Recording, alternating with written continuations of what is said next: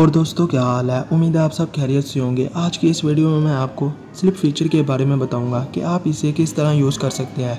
जब आप वीडियो को ट्रिम करते हैं तो आप गलती से या फिर राइट से या फिर लेफ़्ट से ट्रिम कर देते हैं। तो उसे ठीक करने के लिए स्लिप टूल फीचर का यूज़ होता है। स्लिप टूल से आप ट्रिम वीडियो को मूव कर सकते हैं। जैसे मुझे इस वीडियो का इतना पार्ट नहीं चाहिए था और वीडियो ट्रिम हो गई है तो मैं इसे स्लिप टूल के ज़रिए लेफ़्ट या फिर राइट से मूव करूँगा। देखें, वीडियो पहले एंड पर थी और मैं इसे स्लिप टूल के ज़रिए स्टार्ट पर ले आया हूँ।